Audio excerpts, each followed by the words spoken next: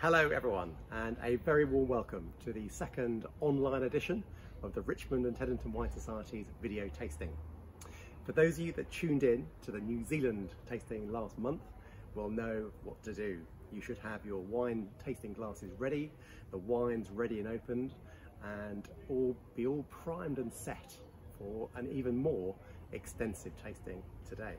In just a moment I'm going to taste uh, this Prosecco with you um, but you may have some Prosecco already poured in anticipation of the event.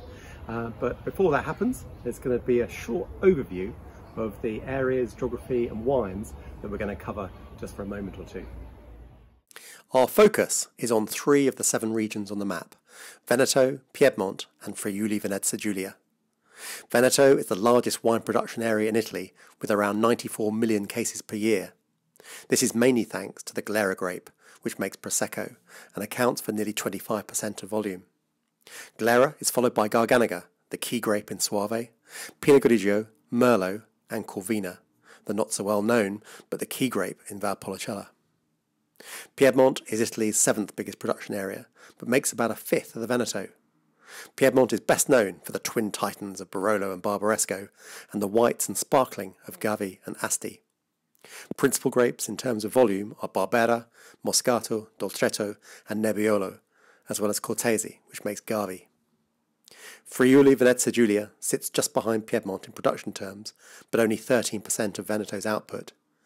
Nearly 80% is white, driven by Glera again for Prosecco, but also for Pinot Grigio, and some of Italy's finest examples are from this region. Merlot and the lesser known Friulano grape also feature. Before we start the main tasting, I want to take a quick look at the Prosecco map. The main Prosecco DOC area is huge, encompassing all of Friuli Venezia Giulia and a large section of the Veneto.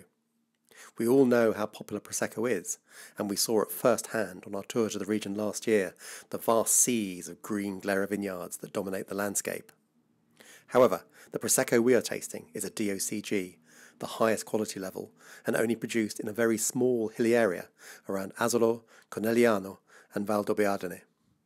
Very small quantities are made, but it is definitely worth paying the extra to experience the high quality. So before we start the tasting proper, um, a quick word about Prosecco.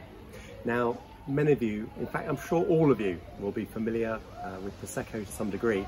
Um, and we visited the region last year on tour and you get to see at first hand the enormous acreage, hectares upon hectares upon hectares uh, of flat plains uh, growing the Glera grapes that uh, now make Prosecco.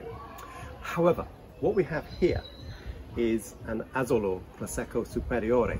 So this is uh, DOCG wine, so the highest quality level that you can get uh, of all Italian wines, and it applies to a very small area within the Prosecco zone, which covers a huge tract of the Veneto and the Friuli Venezia Giulia area. So this is um, pretty much you know, one of the best Proseccos around. Uh, and what typifies the quality and what differentiates this wine from your standard Prosecco um, is not the colour, because it looks absolutely the same as any other Prosecco, very light, very pale, uh, lots of great bubbles, small and fine and persistent.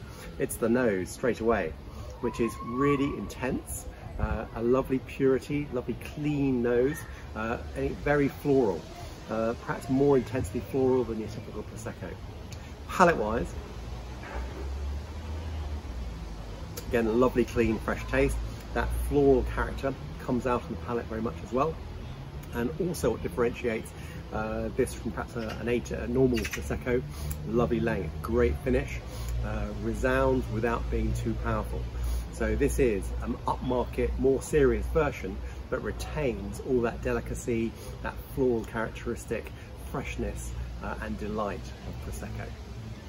Now, we're not going to do the whole tasting outside because as many of you will know, I'm not a huge fan of uh, tasting wines outside. So we're gonna head inside now. So let's get on with the tasting. The first two wines we're gonna taste are the Soaves. we are going to compare and contrast two Soaves. The first one is from the Cantina de Monteforte, situated close to the historic walled town of Soave, which is 20 kilometres east of Verona, This cooperative has 1,200 hectares, located in some of the best locations in the region, 600 growers, and harvests around 20,000 tonnes per year, equating to 4 million bottles. The area benefits from cool breezes sweeping down from the Alpone Valley, and volcanic soils give the wine richness and minerality. The wine is made from 100% Garganega. The second wine is from the family owned Pieropan estate. They have made wine since the 1890s and were the first producer to put the name Soave on the label. The family property is in the heart of the historic town, and we had the pleasure of tasting their wines on the rooftop terrace on our Verona tour in 2010. Pieropan rank as one of the world's most renowned winemakers, and their La Rocca Soave regularly wins top awards at international wine competitions. So the first one is the 2019 Soave Classico from the Cantina de Monteforte. Now, colour-wise, as you might expect, very pale, lemony gold, and then giving it a swirl, to me, very clean, very fresh, and lovely citrus notes, uh, and for once, uh, a Soave that actually smells of something. And I think this is one of the big problems with Soave, is that its image. Uh, and historically, there have been many, many examples of very bland, very innocuous, very dull wines.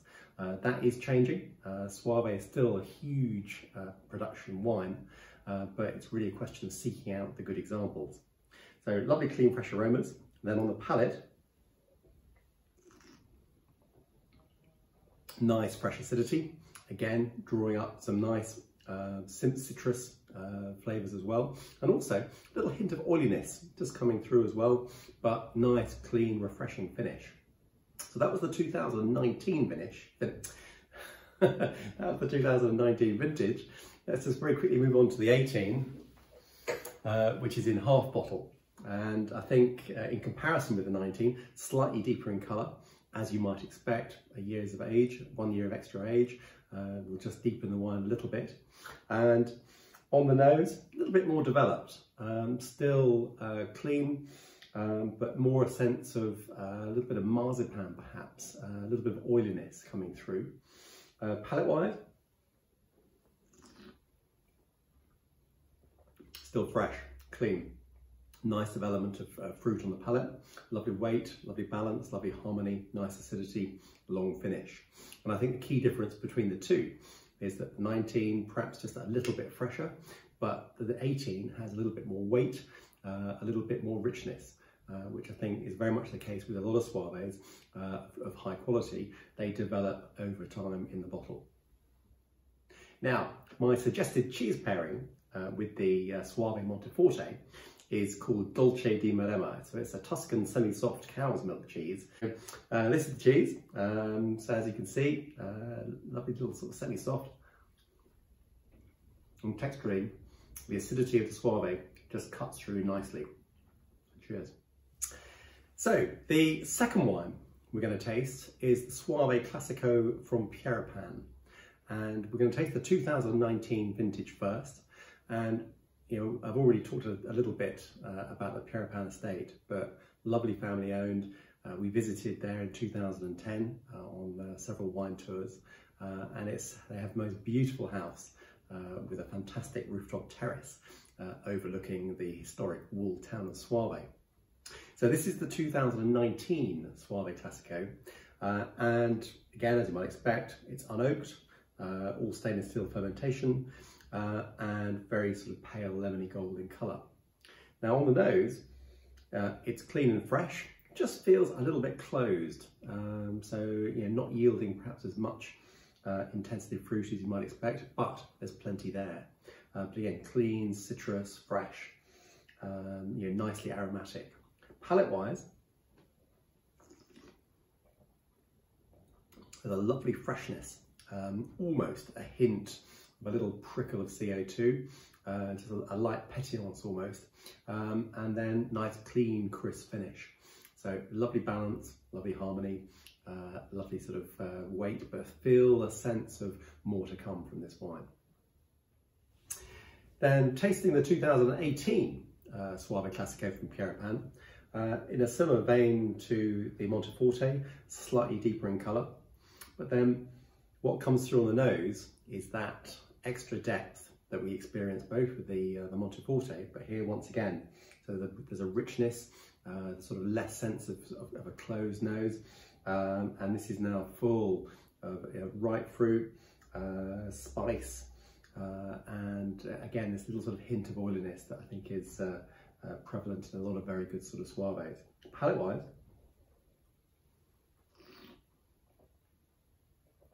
lovely depth, real super intensity, just keeps on going and going. Um, absolutely delicious. And again, you know, testament to the fact that really good Soave does benefit from maybe a year or two even, uh, even at this sort of level uh, of, of, aging. Now, a great cheese match uh, that I've suggested is from the Veneto region, uh, and it's the Cacciatona di Capra Alfieno. Uh, and this is a straw wrapped uh, goat's milk cheese. and again, what we're looking for is the acidity just to sort of cut through the richness of the cheese. It's not too powerful in taste, so the sort of the relatively delicate flavour of the Soave should just marry harmoniously with this cheese. Food-wise, with both the Soave Classicos, uh, my recommendation would be a butternut squash ravioli. Obviously, making your own pasta. A um, little bit of butter and sage sauce, I think would complement this wine absolutely perfectly. All the recipes that I talk about are available on my blog, uh, as well as the download that you may already have. Our third one is the Gavi di Gavi from La Giustiniana. This estate has a wonderful old palace that dates back to 1603. They make just three wines from their 40 hectares of vines, all from 100% Cortese grapes. The Gavi di Gavi Lugarara is a single vineyard wine from vineyards within the Gavi commune itself, hence the Gavi di Gavi name.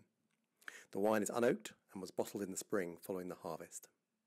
And uh, this is a famous estate, dates back, the, well, the palace of La Giustiniana dates back to 1603. But for me, the interest is in the grape variety, the Cortese grape.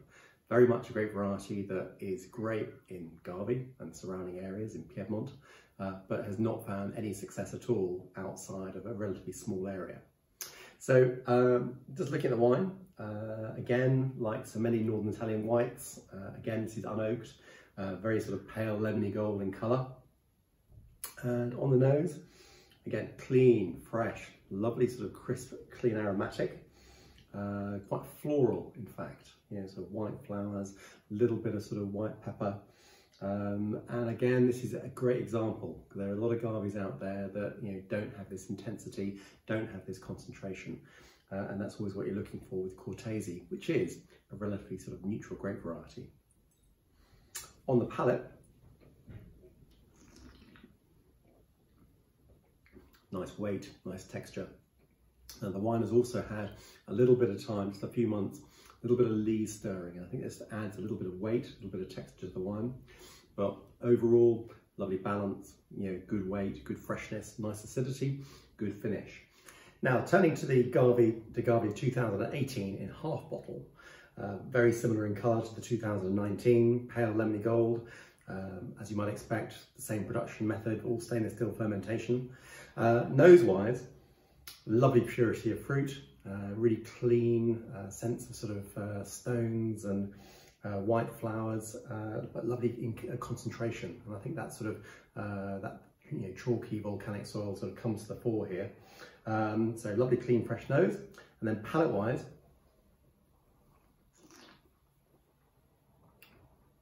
lovely intensity. Again, lovely sort of mouth-filling sort of sense. A little coating over the teeth, mouth and gums. Um, yeah, absolutely dry. Uh, lovely texture. Um, and again, this is to me is quite sort of, yeah, citrus and that sort of, maybe a little hint of sort of stone fruit coming through. Uh, lovely length, lovely finish. Um, absolutely super. Uh, Cheese-wise, um, what I would highly recommend uh, is Taleggio. Now again, a regional cheese from Bergamo. And what we have here is, as you can see, uh, the absolute classics of uh, uh, orange rind here of Taleggio. Soft cow's milk cheese. And again, this lovely acidity of the Cortese will just cut through uh, the Taleggio absolutely perfectly. As far as recipes are concerned for the Gavi, uh, I can think of nothing better than a little bowl of grilled tiger prawns with lots of garlic. Our next wine is the Pinot Grigio from Livio Felluga 2018. We had the pleasure of visiting the Livio Felluga winery last year on tour. The tasting was hosted at the historic Abbazia Rosazzo, a 2,000 year old monastery in one of the most elegant tasting rooms we've ever experienced. The fruit for their Pinot Grigio comes from the most historic vineyards in the region, fermented in stainless steel, and the wine spent six months on its lees prior to bottling. The specific subzone, Colli Orientali, is where some of Italy's finest Pinot Grigios are produced. So, tasting the Pinot Grigio, but before we do that, just a quick word about Pinot Grigio and also Livio Felluga. Pinot Grigio, as we all know, um, I think there's many of us have many terms of reference uh, for large amounts of innocuous, bland, dull tasting Pinot Grigio. This is nothing like that. Uh, Felluga, as you've already heard, uh, family owned estate, uh, long established and one of the top producers in the region. And I think what differentiates this or his Pinot Grigio is the depth, the intensity, the flavour. And uh, first of all, colour-wise, as you might expect, 2018, a little bit of uh, age, a little bit of uh, little bit of colour, but not much. Um, it spent six months on the lees before being bottled, um, and I think straight away on the nose you get this depth, you get this texture, you get this weight uh, that is so uncharacteristic of so many of the much cheaper Pinot Grigios out there. Um, so and again, there's something, they're definitely floral, a little bit of aromatic, but there's a depth and weight as well in the nose as, as well. Palate-wise, that sort of depth and intensity from the nose translates through into the palate. Um, nice concentration, super weight. Something also, a combination, curious, of both floral and also something ever so slightly sort of, there's minerality there, also something that's slightly savoury. Um, so a lovely sort of combination of flavours, but what is particularly pronounced is the finish. Now, I have to say, we visited um, the, we'll say the Livio Felluga estate. What they do is they take you to the Abbazia Rosazzo. Now, this is a 2,000 year old abbey, um, Cistercian monks, not long, no longer, no, no monks there now, but fantastic history and it has one of the most beautiful tasting rooms that we've ever experienced the tasting in, in all the tours we've done over the last 20 years. Um, fantastic views over all the vineyards uh, and they, they manage the Abbey's estates and uh, it was a, a, truly magical experience. Now, uh, so hopefully as you're tasting it, uh, you know, this is both full bottle and the half bottle size, uh, you're getting a really perhaps a different impression of what Pinot Grigio can all be about. As far as food's concerned, this would be a fantastic wine to go with uh, an Italian cheese called torta. Now, this is layers of uh, mascarpone, gorgonzola and dolce And again, that, that uh, lovely acidity and freshness would cut through it. And food-wise, my recommendation uh, is some grilled salmon uh, with some sort of, uh, sitting on a bed of leeks, Uh, a little bit of parsley sauce. Our next wine is the Valpolicella 2018 from the Cantina Valpantena, just to the north of Verona.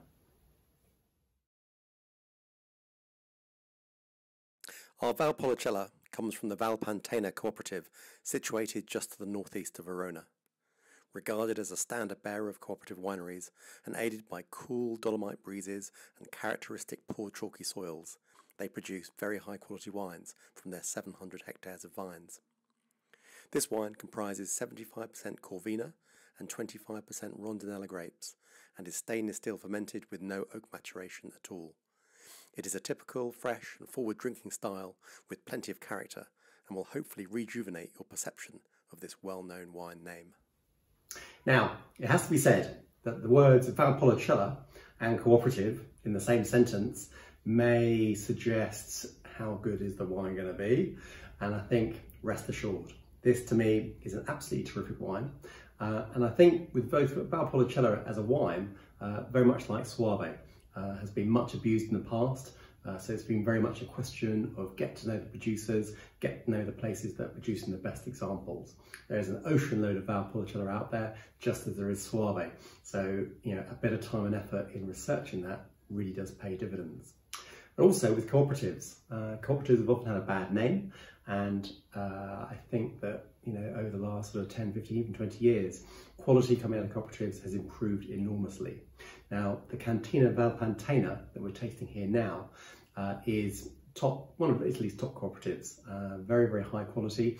And uh, I think that becomes even more apparent uh, when you learn that Matt Thomson, uh, who is a New Zealand winemaker, flying winemakers, made wines all over the world, uh, spends quite a lot of his time here making wines with them.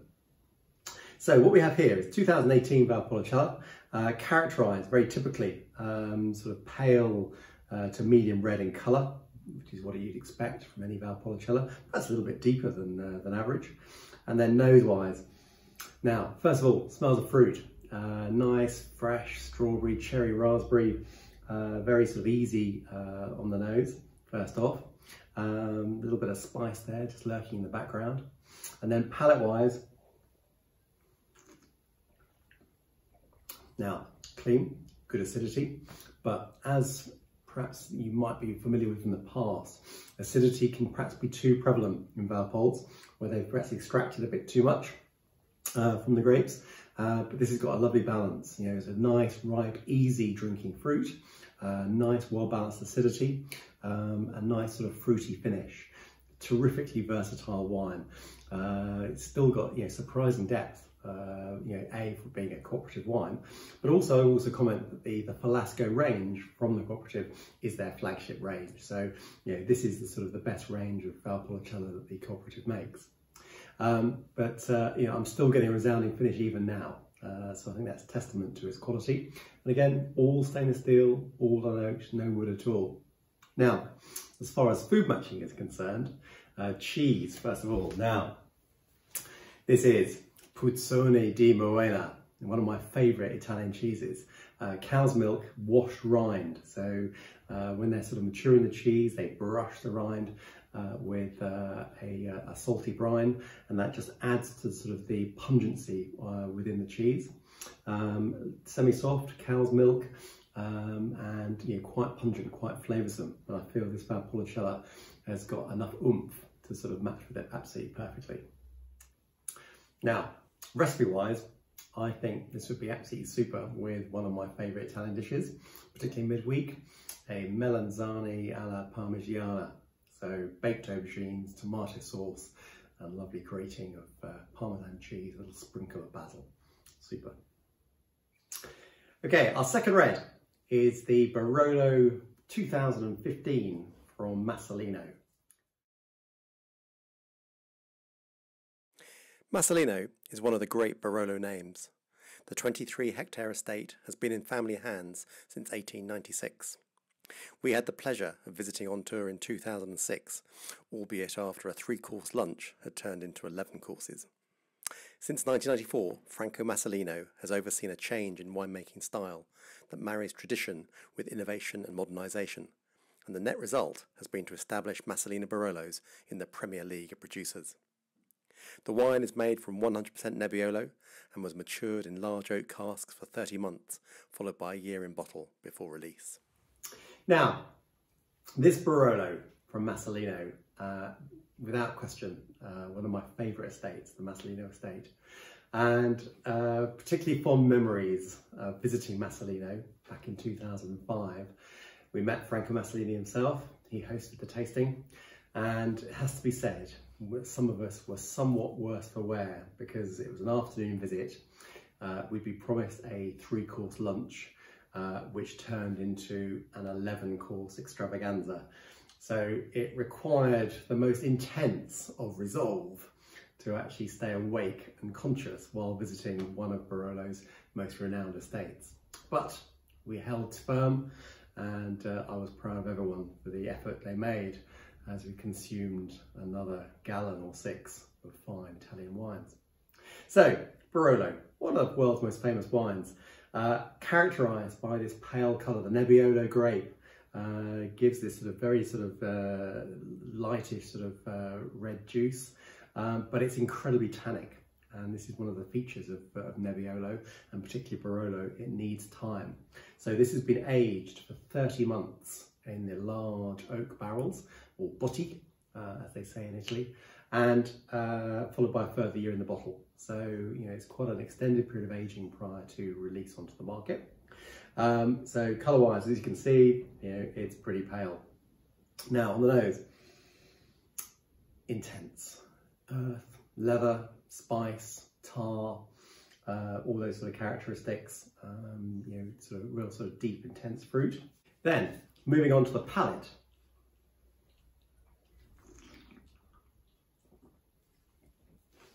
you might expect, real concentration, real intensity.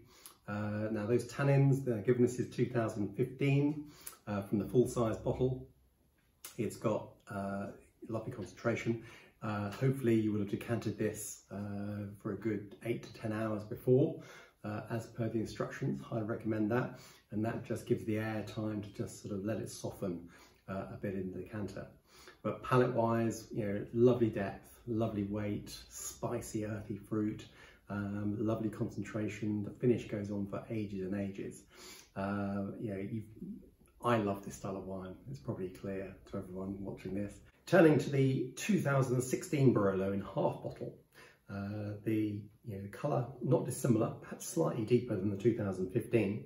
Uh, and hopefully you followed my recommendation was to give this a really, really good decant many hours before you actually taste it. Uh, and certainly that gives the wine air you know, and the opportunity just to sort of open out uh, in, in a larger uh, vessel. Uh, so nose-wise, um, characteristic, that intense, that, uh, that concentration, uh, earthy, perhaps a little bit more austere, a little bit more closed than the 2015, but not a huge amount, and certainly the aeration in decanter has helped. Uh, but you know, it's earthy, it's farmyard, it's uh, you know, blackberry fruit, uh, absolutely sort of super, but still very young, of course. On the palate, the characteristic tannins that you'd expect from a Barolo of this sort of caliber, this sort of quality, clearly present. Um, you know, it's still very young, but again, you know, having had the uh, the eight hours in the decanter, that has opened out, has softened. It doesn't feel unapproachable, uh, but clearly this is a wine that you'd have with food. You know, it's not something for quaffing, uh, you know, mid uh, mid afternoon. So uh, those tannins will benefit from uh, you know, probably a, a, meat main course. We'll just soften those out. But it's got a lovely length, lovely finish, lovely intensity, absolutely characteristic of top class Barolo. This is a fantastic wine paired with uh, suggestions, food-wise, uh, I think a wild boar ragu uh, would be absolutely spot on with this. Uh, and then cheese-wise, now something that uh, I'm a big favourite of, that you'll find at Gender Cheese, uh, it's called Pecorino di Fossa.